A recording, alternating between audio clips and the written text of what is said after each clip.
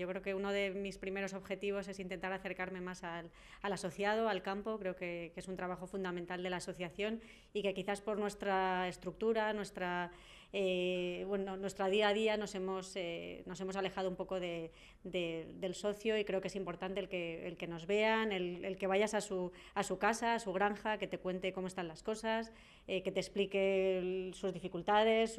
las inversiones que ha hecho, sus expectativas y bueno, ese es uno de los principales objetivos.